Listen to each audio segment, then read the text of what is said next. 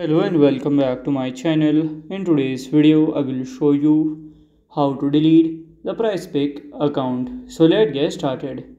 So to delete that you have to follow these easy steps. So first here you have to go then you have to go to a PrizePick account go into the settings then you have to go to the bottom then you have to delete the account and then it would be done so this is how you can do it?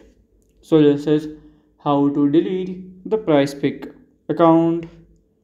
And if you find this video helpful make sure you like subscribe and share the video. Thank you for your watching